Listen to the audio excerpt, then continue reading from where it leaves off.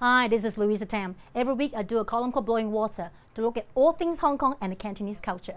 This week I want to talk about something very smelly and noisy. It's Mongkok.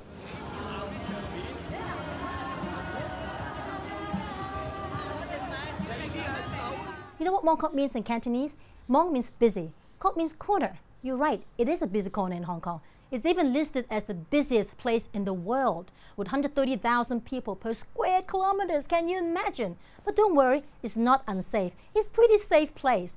I went to one of the brothels upstairs. No, no, I didn't work there. I was there to do a story. Trust me, okay? When I left, there was no problem. I said goodbye. I said hello to the neighbors.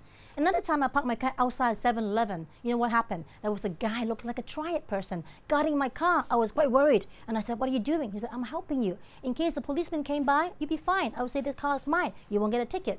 See how safe and friendly it is. Mongkok might have a lot of rough edges. It's raw, rough, raunchy, but it's definitely real. That's how Hong Kong people live. And the street culture is noisy, it's obstructing the public, but it is Hong Kong. Also, Mongkok is the barometer of Hong Kong. When Hong Kong is doing well, you can see in Mongkok. You know how? A guy with one girl, Hong Kong is doing very badly. A guy with four girls, Hong Kong is doing very well. There you go. Mongkok is Hong Kong, Hong Kong is Mongkok.